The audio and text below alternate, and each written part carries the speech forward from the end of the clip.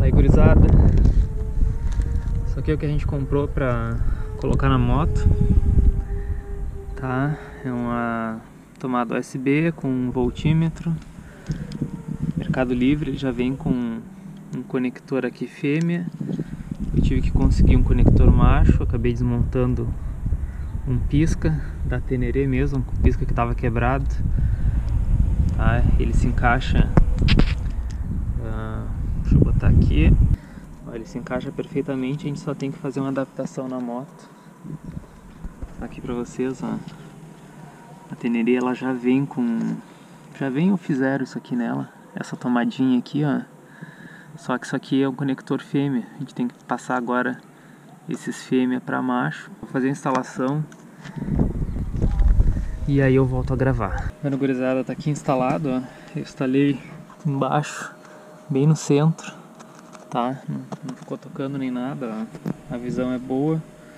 E aqui a gente pluga os, os cabinhos, tá? E a instalação ficou com esse fio aparecendo aqui, paciência. Aqui por trás é difícil de sair, aí como tem que movimentar o guidão para um lado e para outro, deixei aqui por cima mesmo. Gurizada, espero que esteja gravando. Vou melhorar o som aqui para vocês. Ali funcionando o multímetro, marcando 13.9, 14. O ideal é que tivesse uns 14.1, 14.2. Mas tá bom, vamos dar uma volta agora com a moto. E vamos ver como é que fica a voltagem aí, testando o nosso carregador 5 volts aí pra moto. Beleza? Então, gurizada, funcionou. Tá marcando ali, não sei se vocês, se vocês vão conseguir ver. Tá marcando aí 13.9, 14, 14.1.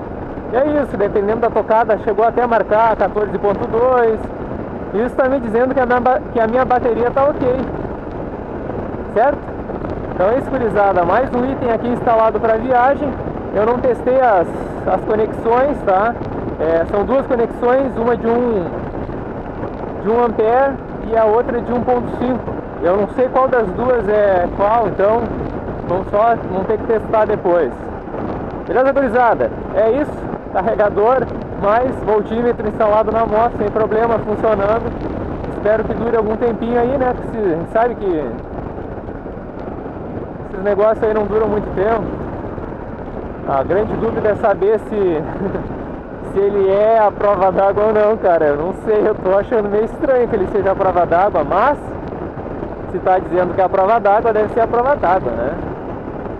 Valeu, gurizada! É isso, fiquem ligados, mais vídeos aqui sobre a viagem, condições da moto, materiais que a gente está instalando, roteiro de viagem, um monte de coisa. Só clicar no izinho vai ter as sugestões aí, certo?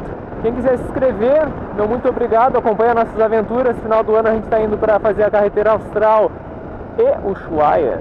Não bastasse a carretera austral, o cara quer ir para Ushuaia, né? Então fiquem ligados aí, tem, vem bastante coisas pelo caminho. Valeu, gurizada, é isso? Até mais.